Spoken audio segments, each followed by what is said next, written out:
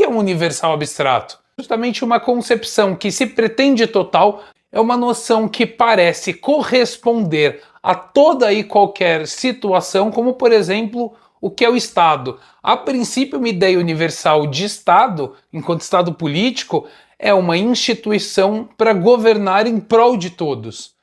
Só que, se a gente for olhar mais de perto, o Estado é uma forma histórica onde determinada classe está lá e tem poder sobre ela e outras classes não.